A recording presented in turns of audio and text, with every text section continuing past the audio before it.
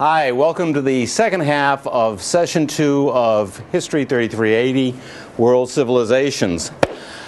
Now, in the first part of session two, as it's marked on the syllabus, I was talking about both religions and ideologies in the pre modern world, from ancient times up to the early modern period. And we were looking at particular aspects of commonality between ideologies and religions, whether we're talking Christianity, Buddhism, Islam, or talking ideologies like Confucianism, the Greek philosophers, that with all of these religions and ideologies, they reflected an attempt by human beings, first of all, to try to understand the meaning of human life. You know, what is the purpose of human existence? To ask other large questions like why is there death, the meaning of death. Secondly, to also try to understand the physical world, physical phenomena, something that we consider simple today, like the weather or the movement of heavenly bodies. But in addition to that, there were also efforts to explore religion and ideological principles in an effort to bring order to the world around us. And that could both be in the sense of trying to understand the universe, the physical universe, as an orderly entity, even though it doesn't seem to be oftentimes. And secondly, to try to bring order to human societies. And this became particularly important as human societies moved from basic horticulture, the raising of crops by hand, if you will, to agriculture, the use of uh, plow animals, and the development of what we consider civilizations. As human societies became more complex, there also was a compelling need for people to try to organize their societies and keep them orderly. Now, with both religion and with ideologies, uh, they came to serve two purposes in this regard. In many cases, religions, and we could count Buddhism, for example, and Christianity, uh, in some cases, religions questioned the existing system. Buddhism was a challenge to Hinduism. Christianity was, in effect, a challenge to Judaism. So, in many instances, religions and ideologies as well uh, could come to question the existing order, the existing social or cultural system, and challenge it. On the other hand, these ideologies and religions might also wind up helping to solidify the existing order, providing it with legitimacy. And we see that, for example, with Buddhism, that Buddhism challenges Hinduism in the Indian subcontinent, but then later becomes, at least for a time, the favored religion of the uh, Chinese emperors. And for a time, it serves to bolster their position and help create stability in society.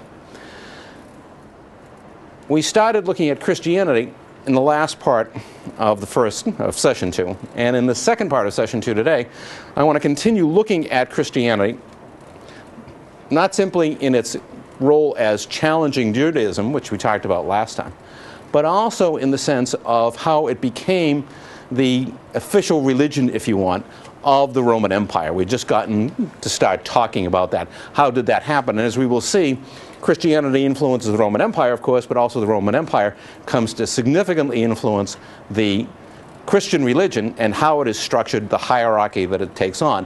And then we're going to look at Islam and see how Islam eventually evolved into a religion as well that helped provide legitimacy for a series of imperial systems uh, in what we most commonly call the Middle East. Okay, let's turn to the first slide and start talking about this. Um, in this first slide, hello, first slide. We need a first slide. Is it up? Okay, I'm not seeing it back here. That's why. Okay. First slide. We're talking about the imperial religions of Christianity.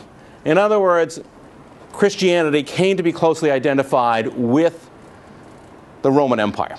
And this happened specifically under two emperors, Constantine and Theodosius, in the fourth century. Constantine was the first. Uh, Constantine uh, came to favor Christianity and eventually uh, accepted Christianity himself, but only at the end of his life. Whereas Theodosius, we have a more long term exercise of interaction between Christianity and the Roman Empire itself. Now, the reason for this, uh, practically speaking, was that the empire itself was in serious trouble, in decline, being significantly challenged in various regions, and emperors were looking for ways of maintaining order within the empire at a time when the simple exercise of military force would not be sufficient to maintain stability. Christianity, which originally had been a, seen as a threat to the empire because it required its converts uh, to reject their previous religious beliefs, uh, religious beliefs that were common throughout the Roman Empire, uh, that necessity had made Christianity a threat to the empire, and Christians had, of course, been persecuted within the Roman Empire. But now, with the empire itself in need of stability, Christianity could help bring order by ensuring that its converts, its members, recognized the authority of the Roman emperor. And of course, this is critical to any political system. If it's going to survive over time, the people within it have to be accepting of the legitimacy of the political order. Simply the exercise of brute force, yes, it can ensure stability over the short term. But if in the long term, the vast majority of the population doesn't accept uh, Christianity, doesn't accept the legitimacy of the existing political system, it can't survive. And that was a key reason why the Roman emperors embraced Christianity. Now, as this is happening, the church itself is starting to, shall we say, stabilize. And what that meant in particular was enforcing orthodoxy. Most religions early on provide an environment in which there is a freewheeling exchange of ideas and beliefs. Early Christianity was like this. People had many very different versions of what the life of Christ meant, what the meaning of Christianity was. But over time, the emerging Christian church came to impose a fixed set of ideas that were to be taken as the official established religion. And this happens through a series of church conferences that take place uh, in the 4th, 5th, 6th century and beyond. And these conferences were designed to bring together key members of the Christian community and to lay out in specific terms what were the beliefs of Christians, what were the official authorized orthodox beliefs. And at times, such as during the Nicene Conference, they'd come up with a creed. Hmm, if you're a Christian, you know uh, these creeds say that I believe in this, I believe in that, you know, believe that Jesus of the Son of God, etc. They lay out in specific terms what the accepted beliefs are. Here we're getting into the creation of a, a religious bureaucracy. There's now an official form of the religion, official set of beliefs, and with it is coming an official set of bureaucrats who will manage the Christian church. Now, as this is happening, of course, it is not all simply the creation of this elaborate organization. There is also the fact that with all religions of any size, there is adaptation depending upon where the religion happens to spread. In the case of Christianity, Europe, Western Asia, the northeastern parts of Africa or the eastern Mediterranean. Remember, as Christianity or other religions like Islam spread over vast areas, they encounter people of different ethnic backgrounds, different cultures, different languages, and different religious practices from the past. And as a result, Christianity in North Africa doesn't look exactly like what Christianity in Rome does. It doesn't look the same as Christianity in the Eastern Mediterranean because people put emphasis on different parts of Christianity, those portions that seem to best fit their beliefs and needs. So we do have this official orthodoxy, but still, even then, below the surface, there are always ideas adaptations of the religion that occur in different regions of the world. And this is true of every major religion, any religion that, in fact, encompasses distinct ethnic and linguistic groups is going to come up with different traditions, even within the Orthodox structure of the church, such as the Christian church. Now, in the next slide, we're looking at what happens to the Roman Empire as it embraces Christianity. And one of the things that happens is that the Roman Empire is gradually breaking apart into two separate entities an Eastern and a Western empire. One in the Eastern Mediterranean, in Constantinople, what is now part of modern day Turkey, and then, of course, in Rome and Italy, the Western Church. Uh, or Western Empire, I'm sorry, but the two overlap so thoroughly here that it's easy to mix one with the other. So we have an emerging distinction between an Eastern imperial system and a Western imperial system. One sign, essentially, of decline, uh, the fact that the Eastern Empire over time remains more powerful and more stable than does the Western Empire centered in Rome, where the Roman Empire first began, a sign that the old empire is starting to weaken. But as that is happening, the church increasingly is taking on the structures of the empire, and we'll see this in more detail in a couple of minutes. What that means is that the church, as it organizes itself as a bureaucracy, starts to imitate the empire itself. Uh, a very basic example for now. Over time, we come to have two major branches of Christianity in the pre modern world. One, Orthodox Christianity, if you want to call it that, Eastern Orthodoxy, a form, a branch of Christianity identified with the Eastern Empire, with Constantinople. And then a Western branch, known as variously as the Roman Catholic Church, you notice the Roman part in there, uh, the Church of Rome, etc., which is centered in the city of Rome and which comes to control essentially the Christian church and faith in Western Europe. So even the church itself and the way it's structured with these two separate branches reflects the imperial system, which itself is fractured between East and West. Now, as far as the West goes, as I said, the splitting was a sign that, in fact, the empire itself was weakening, especially its older branch, the western half of the empire, the part centered in Rome. That becomes clear as Germanic tribes had long been dominated by the Romans. As Germanic tribes begin to invade uh, the territories of the Roman Empire and successfully uh, carry out military actions against the Roman military. In fact, over time, uh, these German invaders, if you will, the German tribal groups, will essentially come to take over the Roman military. If you look at the Roman army, uh, as we get into the later centuries, the 5th, 6th centuries, you're looking at an army that is composed largely of groups like the Germanic tribes rather than residents of uh, the Italian peninsula, which had been, of course, at the core of the original empire and its army. As this is happening, and as the power of the Roman emperor decreases, the power of the Pope, the ruler of the Christian church in the West, increases we get a phenomenon that's known as papal Caesarism. What that means is that Caesar, of course, was the emperor. From the time of the founding of the empire by Julius Caesar, Caesar had been the term applied to the Roman emperor. And what papal Caesarism means is that the head of the Roman Catholic Church, the church in the West, is taking on many of the functions of a Roman emperor meaning he is reaching beyond just the spiritual sphere where Christianity had originated, people's concerns about uh, their afterlife and about their ethical behavior in this life, moving beyond that to consider the practical, political, and military implications of what's going on in the West.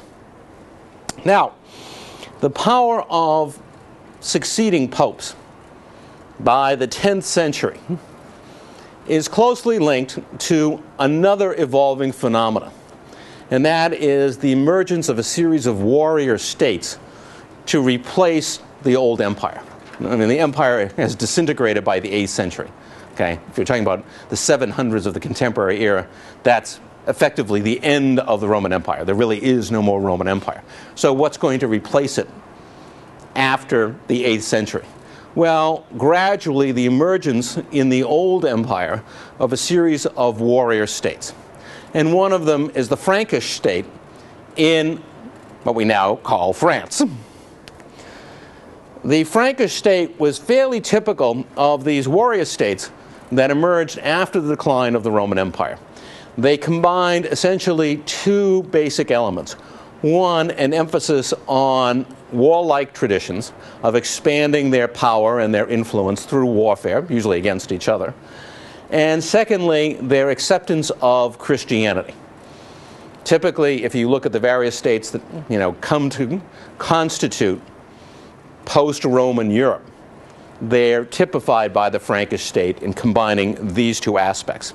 Now, among the states that now constitute Europe, post-Roman Europe, are the papal states. The Pope himself controls a series of provinces that cut a swath across the Italian peninsula. Uh, claims that go back supposedly to the time of the Emperor Constantine that essentially asserted that Constantine had granted the Pope the right to govern these provinces, so that the Pope was literally not only a religious leader, but also a political leader, a leader of his own state, if you will, the papal states. It's kind of been narrowed down these days to the Vatican, uh, but it used to con- constitute a series of provinces that ran across Italy. So the Pope actually becomes part of this process in which the old Roman Empire is breaking up into a series of warrior states. And the papal states were no less a part of this tradition, not only in being Christian, of course, uh, being headed by the Pope, but a variety of popes were also well-known warriors. I mean, they conducted warfare, they attacked other states just like anybody else. You know, not quite the way you envision popes in the modern era, um, but in this age, after the collapse of the Roman Empire, popes carried out exactly that kind of function. So here we have a religious institution, the Catholic Church, which has now taken on both religious responsibilities, but also is increasingly adopting political activities as part of its responsibilities in post Roman Europe. Now, if we look at the next slide, we'll see that there is a merging of interests between the Roman Pope and the Frankish state. And this comes with this event with the coronation of Charles the Great, Charlemagne, the 10th century emperor of, oh, well, the ruler, I should say, of the Frankish state, who was crowned as Holy Roman Emperor by Pope Leo III. What does this mean? Basically, the Pope has said that the Frankish state, and this was a practical move, what was the strongest warrior state among these post-Roman European states? The Frankish state. So the Pope says, well, look, at Charles the Great, Charlemagne, who was the ruler of the Frankish state, I'm now telling him that he is the heir to the old Roman Empire. But this is now a Holy Roman Empire, of course, because it is enjoying the blessing of the Christian church. Hmm. What does all of this mean? Well, in practical terms, uh, it didn't give Charlemagne a lot more power outside of his own provinces and outside of the dynastic system that he controlled. Uh, technically, it was supposed to encompass basically all of modern France and much of what would be modern Germany, or the German states. Uh, most of essentially Central Europe and Western Europe, supposedly, was part of this Holy Roman Empire. In practical terms, most of the other principalities and states went on doing pretty much their own thing. But technically, he was now the heir to the traditions of the Roman Empire. More importantly for us, what the Pope was doing was establishing the fact that now any European prince, king, queen, whatever, who wanted to claim legitimacy to rule over a region had to have the blessing of the Pope in Rome. This was a claim of enormous authority that no, no emperor, no king, no queen, no prince could rule legitimately without the blessing of the Roman emperor. In practical terms, what that could come down to is if the Pope and a prince, king, queen came into conflict, that the Pope could essentially expel them from the Catholic Church. And if that should happen, that would mean the end of legitimate rule for that particular prince, king, whatever. So here we have the Christian church in the sort of political vacuum created after the collapse of the Roman Empire, taking on enormous authority, claiming to be the source of legitimacy for the rulers of post Roman Europe. This was not a unique function for religion in the pre modern world. We've already seen with China and the Mandate of Heaven that Chinese emperors hmm, were believed to have the right to rule because they enjoyed the mandate of heaven. Well, here we're getting even more explicit a specific religious authority, far more powerful than any religious authority in, let us say, Asia. Uh, a religious authority is claiming the personal right to bestow legitimacy on political rulers. So, in the future, the question of sovereignty in the West was entirely tied up with the issue of religious legitimacy, with the blessing of the Christian church. This is why, when we get to later centuries, uh, there was such violent conflict in Europe when the Christian church itself split. Because if the church was the source of legitimacy, what did it mean when the church itself split between what were called Catholics and Protestants? You know, what did that mean for legitimacy of individual rulers? Yeah, who had the right to grant legitimacy now if the church itself is split? Here now we really have an imperial papacy because what the Pope is really saying is look at all of Europe depends upon my granting of legitimacy in order to be able to rule. The height of papal power comes with this particular Pope, Innocent III, uh, at the latter stages of the 12th and beginning of the 13th centuries.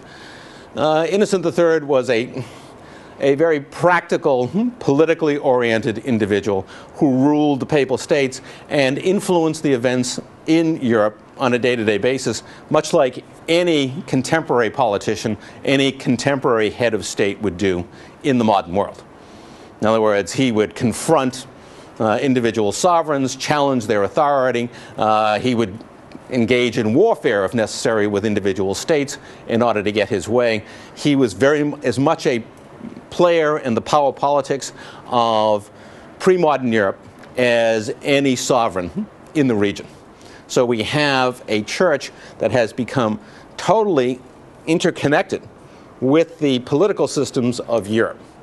This is a far cry from what had happened 1300 years earlier, when, of course, Christ had appeared as a challenger to the establishment, the establishment of Judaism. Now, here was the church founded on his teachings that had become really the establishment institution of Europe.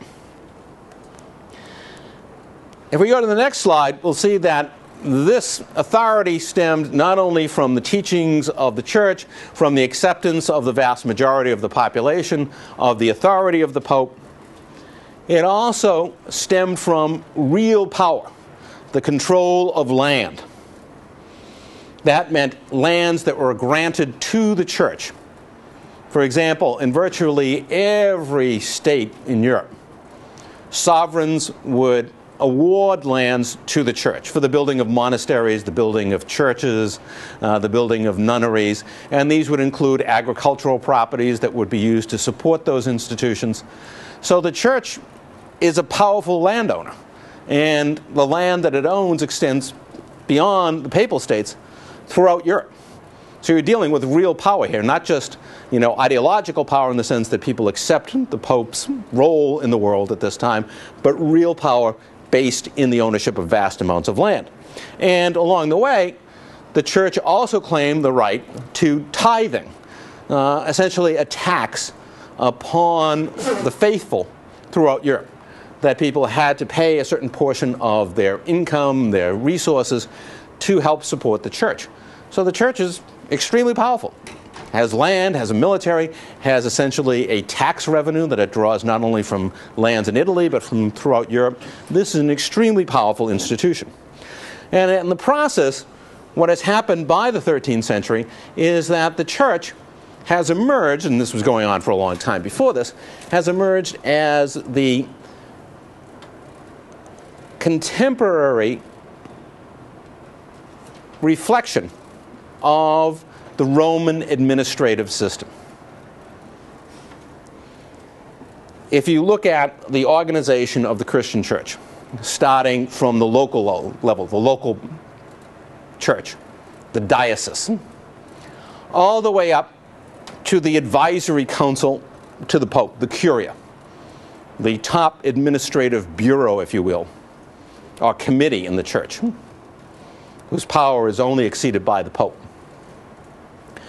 These institutions, from local parish authority with the local priest all the way up to the Curia, and the way they ran the system of the church, were all replicas of the Roman bureaucracy. In other words, they took the Roman bureaucracy and directly imitated it as the administrative structure of the church. You look at the Roman Catholic Church even today. You know, the Pope wears, you know, what's a basically a crown because he is seen as this imperial authority, even now. His claims may be only spiritual, but still seen as an imperial authority. And you look at the administrative structures all the way down the line, from cardinals to bishops to parish priests, all of that is a reflection of exactly how the Romans, in the same kind of top down bureaucratic system, administered their empire. It was modeled on precisely that system. So the church not only imitates the power of the Roman Empire, it also mimics the bureaucratic system by which Rome had ruled that vast empire. Also, in terms of church law, the laws that govern how the church functions, how people within the church, the faithful, are to be treated, let us say in terms of issues like uh, challenging church orthodoxy, hmm, challenging the principles of Christianity. How was someone to be dealt with? Well, there were systems under which these people could be put on trial. If they're accused of heresy, apostasy, various threats to the orthodox beliefs of the church, that legal system of canon law was based directly on Roman law. So again, the Catholic Church has become the mimic of the Roman Empire. And so to church courts and how they functioned, how judges were selected, etc., and how evidence could be presented, all of that was based directly on the old Roman system. So we see this transition over time where the Christian church was once a challenger of the authority of the Roman Empire, a threat to stability. By the fourth century of the contemporary era, it has become a partner with the Roman Empire as the emperors look for a stabilizing force as their power diminishes. And then by the 8th century, when the empire has disappeared, the church has emerged as the most powerful force in Western Europe and comes to exercise many of the authorities, especially secular authorities, in other words, political power, uh, that the Roman emperor once had. And eventually, by the 13th century, no later than that, the church has thoroughly replicated the administrative structures of the old Roman Empire. So here we have a religion which, again, starts off as a sort of rebellious force and in time comes to represent the establishment of Western Europe. It is the force that provides legitimacy for political rule throughout the empire, uh, uh, the empire, throughout the post-Roman portions of Europe. Now, over time, challenges will emerge to this kind of system. This is part of what we're going to see in terms of the process of modernization. This is not unique, as I said, to just Europe. The idea that religion, and in this case, specific, a specific organized religion, provides legitimacy for political rule. What empowers you to be king, queen, or whatever, emperor? The fact that God has granted you the authority to rule in his name, and specifically through his agent, the Pope. That's not uncommon. whether it was the rulers of India, China, wherever, Africa, the Americas, the Western Hemisphere, everywhere, some form of religious legitimacy underpinned political sovereignty around the world. So this is an extreme version of it because it was highly organized, highly bureaucratized. But nevertheless, across the world, there is really an instance where anyone rules any significant political entity without some type of grant of religious authority. Over time, as I said, part of the move towards modernization that we'll see is when people begin to question and challenge whether, in fact, religious legitimacy can provide the underpinning for political sovereignty. In the meantime, we're going to look at a very different track here on the next slide uh, that of the evolution of Islam. Islam will never quite get, in fact, never will get, to the point that Christianity got, where you have this single centralized authority exercising enormous power over vast regions. But Islam, too, will undergo a certain degree of bureaucratization but not to the extent that Christianity does.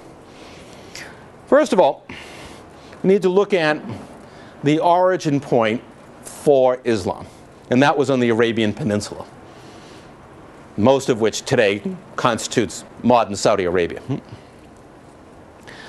Two things that were typical of the Arabian Peninsula.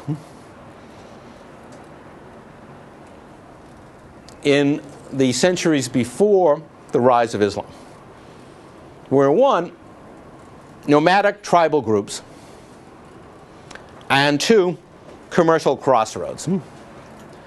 And what that means is, commercial crossroads, is that the Middle East, as we now term it, was an exchange point for goods coming from all different directions from China, from Africa, from Europe. Trade routes converged and crossed in the Middle East over and over again. So this was an area of dynamic commercial interchange. It was one of the nexus points for trade around most of the world, excluding the Western Hemisphere, in the pre modern era.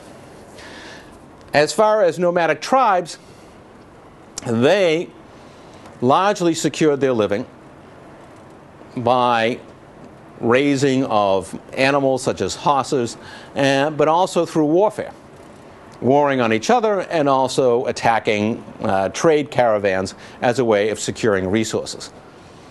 These were typical groups in the Arabian Peninsula. But again, they stood in contrast to a series of urban centers, like Mecca that we're going to talk about, that were the centers for commercial trade. So we have really almost like two societies operating at the same time the nomadic tribesmen and the much more sedentary and centrally organized mercantile urban groups that also typified the Arabian Peninsula. Not surprisingly, the Arabian Peninsula was not only a nexus for trade, for the exchange of goods, it was also a nexus for religion. And it's easily explained. Commerce whether we're talking the pre modern world or the contemporary world, always carries more than just goods. Hmm. Commerce is never just an exchange of material goods hmm. between different peoples and different groups.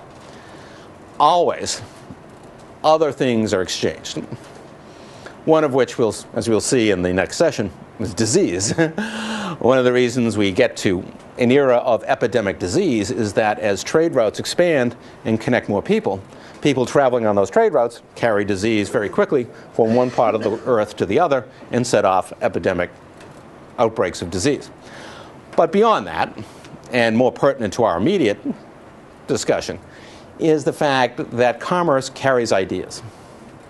In the modern world, we can see this relatively easily um, suppose you want to sell iPods uh, someplace, I don't know, Mongolia. Well, you can't just sell the iPod you say, here's an iPod. Okay. Oh, what do I do with it? My wife got an iPod a couple weeks ago. I said, well, what do you do with it? I mean, it's just a thing, right? How does it work? I don't know. So somebody has to convey information to you to say, "Yeah, how does this thing work? I still don't know how it works. But there has to be a carrying forward of technology. And when we think of technology, you always think, oh, a machine like an iPod or a computer. But that's not technology. What technology is, is knowledge. It's the knowledge that allows you to create that thing. And that thing isn't worth anything to anyone unless you have the knowledge of how to use it. So, in trading that good somewhere, selling it, you also have to convey knowledge. And that suggests, furthermore, other knowledges, not just the practical knowledge of this is how it works. So, you get records music and you can listen to music. Okay, but how do I actually use this thing? Well, if you've never been exposed to a computer and you know, what is this? You know, what's this window? You know, what do I do with it? So that assumes other knowledge that has to be conveyed. And then basic knowledge like, well, math, and you know, well, how many songs does it take? Well, I got to know a little bit of math to figure that out. Well, what's its capacity? How much room does each song take up? I can tell you how many songs you can probably put on there. Okay, but I don't know that unless I have basic math. So no matter what kind of good you're exchanging, in the modern world, you're exchanging some kind of information with it, some ideas. In the pre modern world, one of the most important non material conveyances of commerce was ideas, but specifically religious ideas. Almost inevitably, among the most active participants in religions are merchants. Why? in part because they're almost always literate. They have to be in order to function, at least in long distance trade. But also, that means that they have some degree of education and in their long journeys, inevitably they have considerable amount of time to be thinking about their existence, about the meaning of the material world around them. I mean, if you're a peasant, you don't get nearly as much time to do that. You got to be up every day and you're working out in the fields and you're getting tired. Merchant, you're going to spend long hours riding on the back of a camel or on a ship. So there's a considerable amount of time for merchants to contemplate the world around them. So as merchants crisscrossed the Arabian Peninsula, they carried with them not only silks from China, gold from Africa, they carried their religious beliefs and they exchanged them when they met in these cities and towns that were the specific nexus points for trade, they would often exchange ideas, hmm, talk about their religion. Well, what's your religion? What are your beliefs? Oh, well, we have different beliefs. So this was an incredible, it was a little bit like being at a university hmm, in the sense that here was an opportunity to get exposed to a lot of different ideas and perspectives and interchange those ideas. And inevitably, in that kind of environment, and this is one of the reasons you have universities, you create new ideas, new perspectives, new views, because you get people thinking, well, gee, I never thought of it that way. I never had this perspective. Well, we always believed in one God. You guys believe in 12. Mm-hmm. I wonder if that makes any sense. I wonder if maybe somewhere in between lies the, you know, the exact nature of God. You get creative thinking. And this is what happened in the Arabian Peninsula in these centuries before the rise of Islam religions like Judaism, Zoroastrianism, and we talked about Zoroastrianism's influence on Judaism and Christianity, and of course Christianity itself, along with a whole array of local deities. There were a variety of natural gods uh, that were worshipped in the Arabian Peninsula. But there's this incredible interplay of people with different religious beliefs. So it wouldn't be terribly surprising to learn that a new set of religious ideas are going to emerge, and when they do, that they're going to be rooted to a considerable degree in the religious beliefs and principles of Christianity, Zoroastrianism, Judaism, because that is the intellectual environment in which Islam emerged. Now, Mecca, the, if you will, home of Islam, its birthplace, was itself a mercantile center. And naturally, it would be one of the places where this vibrant intellectual culture flourished, where there was constant exchange of ideas. Among the merchants who were influenced by this confluence of religious ideas was Muhammad. He was himself a merchant and also ultimately a visionary in the very real sense of having visions, inspirations that led him to become the prophet of Islam. So we can very much set Muhammad in a historical environmental context, in this rich intellectual environment, these vibrant discussions about religion. And Muhammad himself will, in fact, draw on many of the ideas that he receives from these other religious traditions. Now, as far as the faith which he creates, some of the practical, or say, some of the principal aspects of it. One is acceptance, meaning the acceptance of your position as a believer, as a subject of God. The need to live a moral life, to follow a moral code. This is not unique to Islam, of course. Christianity has a moral code, Judaism, Buddhism. And, but also the idea of a godly community, of a community that is both bound together by its Islamic faith, but also an Islamic community that reflects in very real and practical ways its Islamic faith. Hmm. In other words, that your religious faith will be pervasive within society, that it'll affect every aspect of society. Not just your own spiritual beliefs, but the legal system, the political system, even the economic system, social relationships, personal relationships, all those areas will be influenced by your religious beliefs. Now, Muhammad began in 610. This is when we trace back the origins of Islam. But by 622, he found an increasingly hostile environment, particularly among the merchant elites of Mecca. Many of the ideas that he was preaching were, of course, at odds with local religious practices, and it was feared that his movement would disrupt the all important commercial activities within Mecca itself. And so Muhammad left Mecca, went to Medina in 622, where he continued to preach and to expand upon his following. In 630, Muhammad planned a return to Mecca. And originally, it looked as though when he arrived with his followers, including many uh, converts from the nomadic tribal groups, uh, that warfare was going to ensue. And that what would happen is that Muhammad and his followers would invade the city and overwhelm it.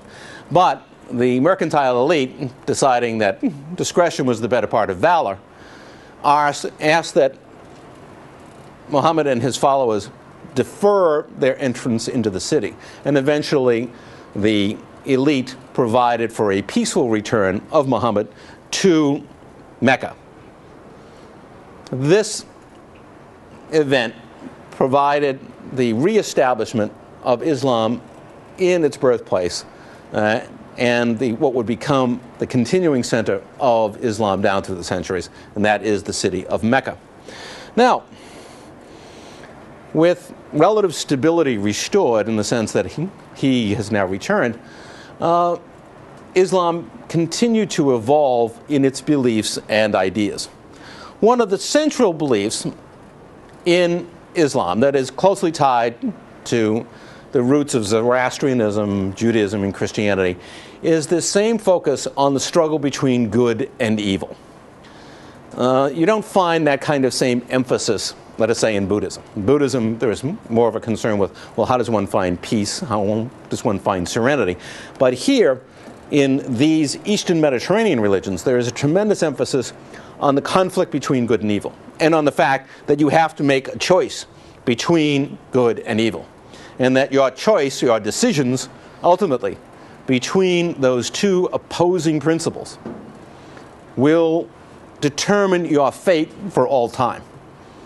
And that indeed there will be a day of reckoning, a judgment day. Just as you read about in Christianity, so too in Islam, there will be a judgment day where God will separate the good from the bad. So there are profound consequences to your behavior. It isn't just a matter of will you find personal peace and serenity in this world? It is a matter of your fate for all eternity being determined by the choices that you make. In addition, in Islam, earlier religious figures, including Abraham and Jesus, were seen as prophets, opening the world up to an understanding of the divinity of the one God. And that Jesus is not, as he would be conceived of in the Christian church, the Son of God, but rather another prophet. And so too Muhammad is the, well, in this case, ultimate prophet, opening people's eyes to the preaching, well, preachings, the existence of God and what God desires of humankind. So Muhammad very much saw himself as being part of this very long historical tradition within the Eastern Mediterranean. And Islam came to reflect many of the principles and ideas of those earlier religious beliefs, and in fact, consciously incorporated many of those ideas and the teachings of those earlier religions into its own principles. Now, similar to Judaism and Christianity, is the Quran, the holy book, the book of Scripture, if you will, the Word of God. Here again, we see this striking similarity between the Old Testament, the New Testament, and the Quran. But something that distinguishes Islam is Sharia, religious law. The important distinction here is in the pervasiveness of Islamic law. If we look at the Christian church again, the Christian church has laws, well, the Roman Christian church, let's say, uh, canon law. But canon law is specifically focused on issues such as uh, the proper conduct and rule by, let us say, bishops, cardinals, etc., uh, the challenges that may arise to Christian orthodoxy from people who claim alternative interpretations of the Gospels, etc. So it's very much focused on the institution of the church and the specific beliefs of Christianity. But Sharia covers a far wider swath of human behavior. In fact, it encompasses just about every aspect of human life that you can think of. What are the relationships to be between men and women, specifically through marriage? What are the rules under which economic activity should be conducted? Can you, in fact, charge interest on loans? Can you loan money and charge interest? No, you're not supposed to. So, commercial activity. How are disputes, hmm, let us say over land, to be resolved? So, Islamic courts which will arise, and Islamic judges, aren't just ruling on issues of religious faith, religious practice. In fact, they are focusing on every aspect of human life. In some ways, this was one of the great appeals of Islam and in part helps account for its rapid spread. Because for many people, this was an enormously compelling idea that in converting to Islam, you weren't just experiencing your own personal spiritual conversion. It was going to help guide you in every aspect of your life. Whether it was your personal relationships, whether it was your commercial activities, almost every aspect of your life, here were a set of rules provided by Islam to guide you, something that was very distinctive in pre modern societies, where, yes, religion was extremely important, helped explain the functioning of the universe, helped provide legitimacy to political rule, but in terms of people's everyday lives, there was little in the way of direct religious guidance. You know, if you take like the Ten Commandments, the Sermon on the Mount, yeah, that's fine, but that's still a little non-specific, you know and love my neighbors. Okay, but what if I do if my neighbor moves his fence into my yard? How much do I have to love him then? Uh, not nearly as much. Uh, so you need a practical guideline. What does that really mean? You know, what is just? And what is legal? You know, in dealing with that kind of thing. Well, Sharia would provide that kind of principle. Also, and this is not unique to Islam, there are what are called the five pillars of Islam, sort of basic principles. One, of course, uh, to pronounce your faith, to announce that indeed you are a believer, uh, to pray five times a day, uh, to take a pilgrimage uh, to Mecca, if possible, during your lifetime. It isn't always possible, of course, for people to do that. So there are some basic principles that are universally accepted, that everyone must practice if they are indeed truly a Muslim. Now, as I suggested earlier, Islam underwent a rapid expansion from the Middle East and the Eastern Mediterranean within a couple of centuries. It rapidly spread east and west, all the way to Andalusia, meaning parts of Spain,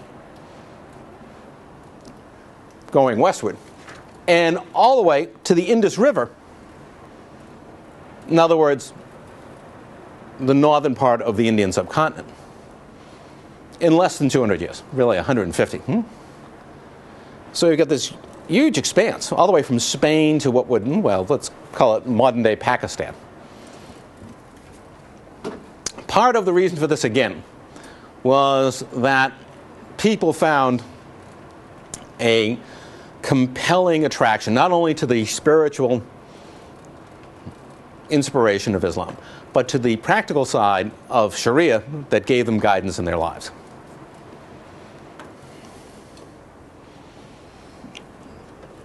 But there was another aspect of this as well. Well, two aspects, one of which I'll mention now. And that was that the nomadic tribal groups had early on been won to the side of Islam. And they, of course, help provide a rapid military force to help spread Islam and its influence across much of, again, what we call the Middle East.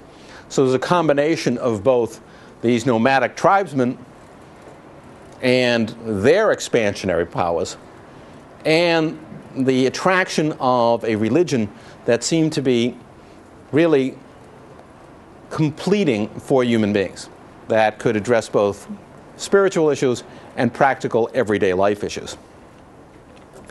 Now, one thing that's striking about Islam when we look at Islam, compare it to Christianity in its early centuries, is that relatively early on, even before Christianity's acceptance by the Roman Empire, Christianity had started to develop at least an informal hierarchy. People who were recognized as being priests who, in other words, carried out formal religious rites, who served as the intermediaries between believers and the divine. Christ himself had said, you know, you are Peter, and upon this rock I will build my church. So that was taken as an indication that there was to be a hierarchical structure. So even before the church began imitating uh, the administrative structures of the Roman Empire, long before that, there was the emergence of a priestly class from the time of the apostles, and particularly the emergence of Paul as a dominating influence and Peter as sort of a governing authority, we start to get the emergence of official religious professionals, if we'd call them that today. But with Islam, we don't see that same emergence of that type of priestly figure. In other words, with priestly figures, we're talking about people who carry out the formal religious rites of their faith, and people who are involved in intercession between believers and the divine figure. With Islam, there were people directly involved, of course, in the development of Islam and in carrying out the responsibilities of their faith. But here you were dealing with people who were either one, scholars. In other words, they would study the Quran, they would study scripture, they would, uh, the Holy Scripture, they would study Sharia, and they would write commentaries on it, uh, helping people understand, well, what does this mean? Because even Sharia, uh, even though it's far more specific than, let us say, the Ten Commandments, nevertheless, there are still vast areas that people need to find out, well, how does that apply in my specific case? So you have scholars writing and teaching to help people understand the nuances of their religious faith and the specifics of religious law. But they do not carry out priestly functions. They are not responsible for carrying out religious rites. This is not like a Buddhist monk, you know, a Hindu priest, a Christian priest. And you also have judges, because of course, a crucial part of Islam, unlike other religions, is that it has a thoroughgoing legal system that applies not only to specific religious matters, but to matters throughout society. So you need judges who are going to use Sharia uh, to pass judgment on various cases. This may involve, for example, a commercial transaction, land problems. Uh, it can involve uh, antisocial behavior, if you want to politely call it that. Yeah, you're a thief, you're a murderer. uh, you go around beating people up. Uh, the usual stuff happens every day. So you needed people in that function as well. But again, judges are not trying to intercede between believers and the divine.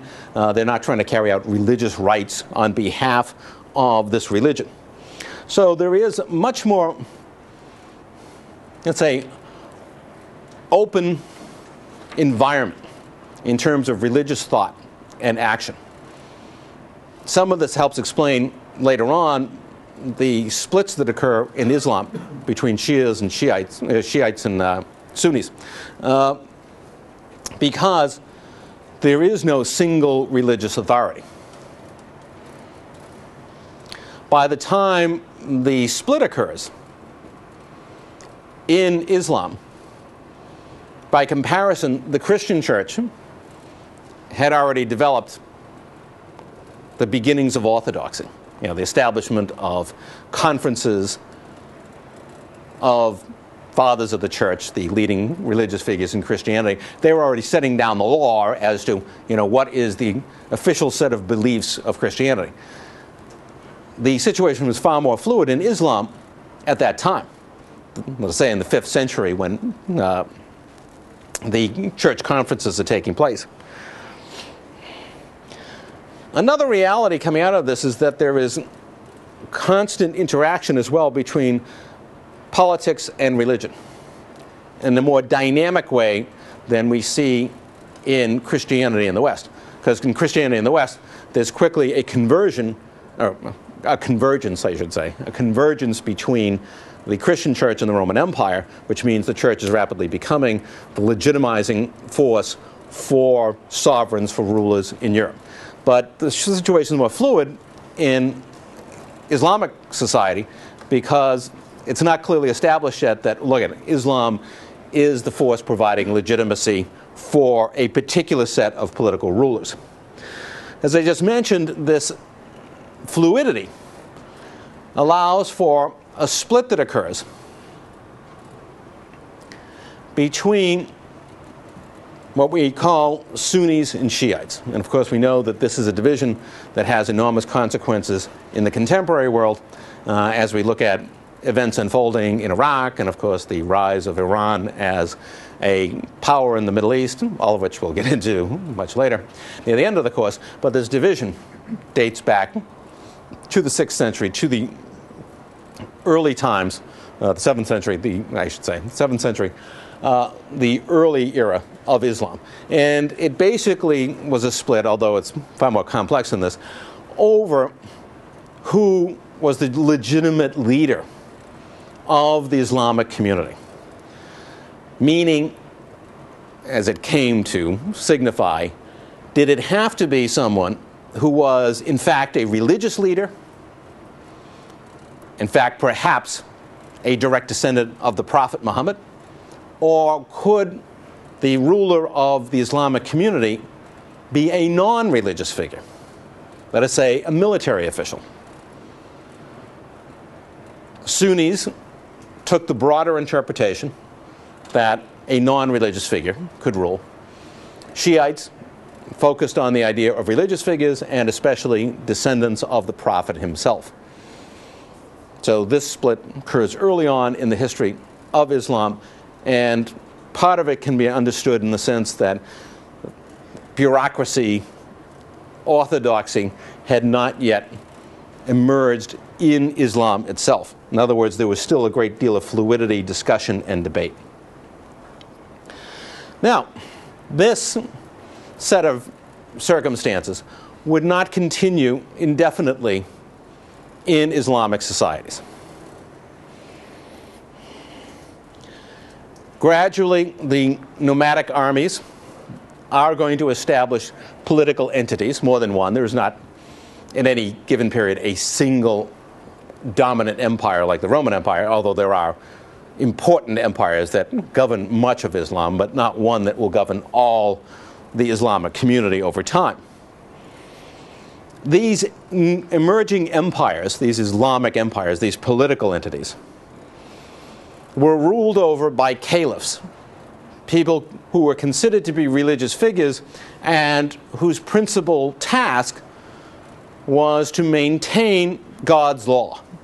In other words, the purpose of these rulers was, in fact, to ensure that the political entities they ruled were authentic Islamic communities, meaning that they obeyed Sharia, that they followed the principles of the Quran. So here we have people who are filling, fulfilling a political function, ruling over these empires, but at the same time, very clearly have very specific religious responsibilities, the maintenance of Islamic communities, the maintenance of God's law. As a whole, Muslims saw themselves as part of a single community. That a central focus of their identity was, of course, their sets of religious beliefs. This also has important repercussions, as we will see, in the contemporary world, where some political ideologists, philosophers will argue that even in the 21st century, the ultimate identity for those who are Muslim is the fact that they are Islamic, and that that is more important than nationality, ethnicity, tribal identifications. The most important thing is their identity as a community of believers. And this was an important concept in the early history of Islamic communities because, as we will see, they were often very diverse. You have nomadic groups, you have sedentary groups, you have people who are Arabic, you have people from the Eastern Mediterranean who are from vastly different backgrounds, non Arab groups. One of the first truly powerful and dominant empires that does emerge in the Islamic world is this one, the Umayyad Caliphate. That's a dynastic name, the Umayyads. And over a course of 100 years, the Umayyads managed to create an imperial system focused on the city of Damascus and ruling over much of what is the modern Middle East. Indeed, the Umayyads essentially mimicked the Romans in creating their imperial system. What it means in this case, unlike the Christian church mimicking the Roman Empire, in this case, what it meant was that yes, they create a powerful city state, Damascus, extend their rule over vast territories, but that rule is largely decentralized as much as there is an overall empire, the direct control over the rest of the empire is mostly focused on the collection of tribute and collection of taxes, not the idea that they are going to vastly alter the people who come under their rule. So that's the Roman model, that you expand out and grasp vast territories, but enormous diversity of language, of ethnicity, of economic activity remains within the empire. It's not a uniform, homogenized system, uh, unlike, let us say, for example, the Chinese who tried to create this homogeneous uh, empire with a common language, etc. As I mentioned earlier, Islamic societies were characterized by diversity, and that was certainly true of the Umayyad Caliphate. There were both Arabian and Mediterranean populations incorporated within it, urban versus rural, people living in the countryside, peasants versus people living in the cities, merchants, artisans in the cities, peasants in the countryside, nomadic populations, still roaming much of the Arabian Peninsula, but also large sedentary populations, especially along the Mediterranean coast where there are vast agricultural regions, uh, much of what is modern day Iraq, for example, Syria, where there are areas for agricultural production, you get sedentary populations. One thing that did bind the empire together was the dominance of Arabic as the official language. Now, I just said it's different from China. Well, that's because the Umayyads didn't try to create a single language that would be learned by everyone. Rather, they simply relied on Arabic as the dominant language, and if you wanted to get along and function within the empire, you had to go learn it. But there was no attempt to say, well, look at, we're going to impose this language upon others. Now, one of the limits on this empire, and one of the reasons for uh, the re relatively rapid passing of imperial rule in Muslim societies was the reliance on lineage. In other words, dynastic systems, meaning how did one become emperor? You inherited it from your father, basically. The limitations of that kind of system are that what tends to happen is that over time you wind up with some inferior rulers. I mean, let's face it, if you look at your own family and say, well, look at if we go from generation to generation, not everybody, you know, even if you're from a family, let us say, of uh, efficient business people. You know, my great grandfather was a merchant, my grandfather was, you know, a corporate executive, my father, hmm? okay, but as you go down the line, inevitably you're going to find, yeah, but I'm not, okay, I'm just not a business person. I don't have any of those skills. So too in dynasties, as time goes on and one generation inherits from another, you wind up with people who aren't necessarily the most gifted of rulers. This leads to deterioration, and one of the reasons why the Umayyad Empire doesn't last for all that long. Among the reasons for dissent in the empire were the favoritism shown towards Arabs. If you wanted a position in the uh, imperial order, in other words, as a military man, as an administrator, you almost had to be Arabic. That meant a very large portion of the population that was not Arabic were largely excluded from opportunities to participate in imperial governance. Another issue had to do with Muslim converts. People who did not convert, and you were not required to convert to Islam. But if you didn't convert, you had to pay a head tax. So this left a considerable portion of the population that did not convert, subject to the burdens of a tax that Muslims didn't have to pay, helping create further causes for dissent within the empire. Those kinds of discontents, favoritism towards Arabs, and the head tax helped lead to the disintegration of the empire and its replacement by the Abbasids. Now, the Abbasids are different in the sense that they are rooted in the Persian traditions, the ancient Persian world. They are Shiites as opposed to the Umayyads' identification with Sunnism. Baghdad is now the imperial capital as opposed to Damascus. One of the things that the Abbasids do to counter the problems that the Umayyads had faced is their focus on ethnic equality. They themselves, of course, many of them are Persian descent, Farsi speaking, not Arabic.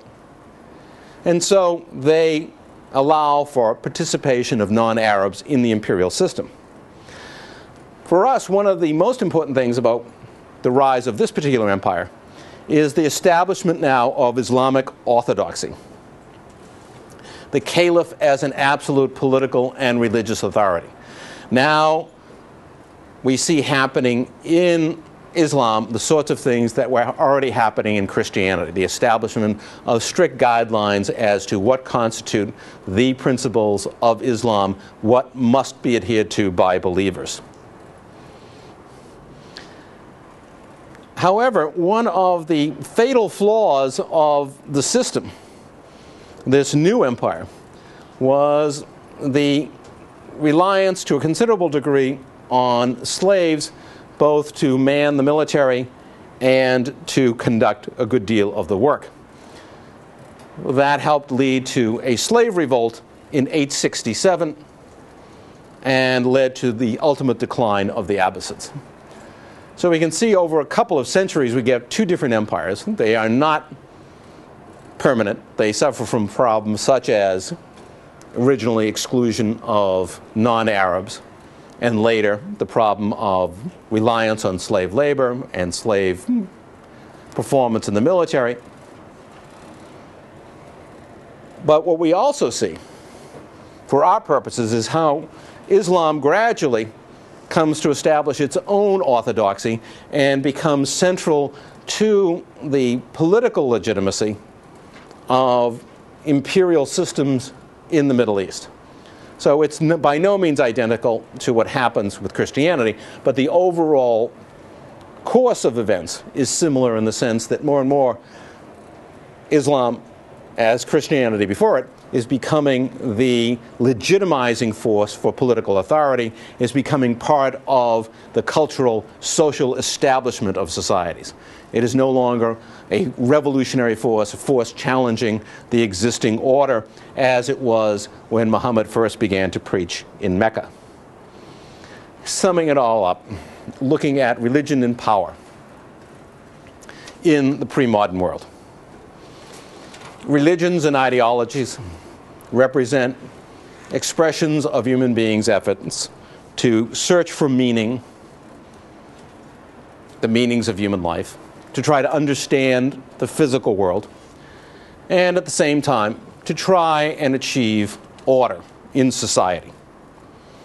We've seen the evolution from early religious practices such as animism, worshiping natural objects, the great informality to the development of more formal religious structures as such as the first great religion, Hinduism.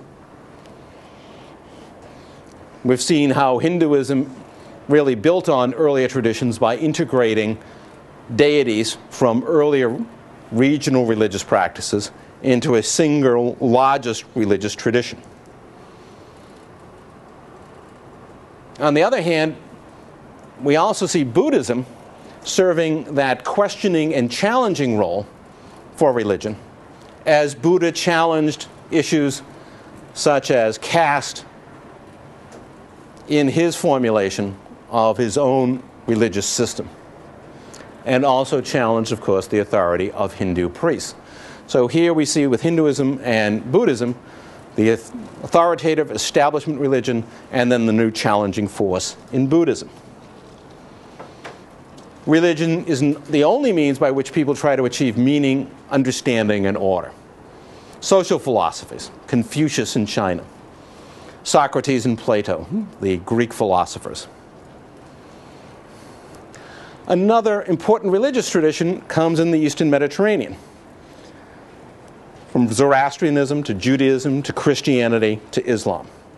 All of these religions have similar characteristics in terms of the struggles between good and evil, the search for a moral life, the end of days, and Judgment Day. Universal religions that encompass vast populations, multiple ethnicities and cultures, include Buddhism, Christianity, and Islam. What is common throughout these religions, philosophies, is this duality. Whether we're talking Greek philosophers or Muhammad, between challenging and questioning the old order and then evolving over time into a legitimizing, stabilizing force within society. As we go on in the course, we're going to see how new forces for change and challenge will emerge in the modern world, and that they will endure a similar experience of challenging the old religious orthodoxy and establishment only to become themselves the new orthodoxy. And we will also see how the basic principles of religious faith and belief will be challenged and how attempts will be made to separate religious inquiry and belief from political and social and scientific philosophy and ideology. All of that will come in the modern era. Before we get there, we're going to look at another fascinating set of characteristics of pre modern societies, how people organize themselves socially and economically. We'll begin that next time. Thank you.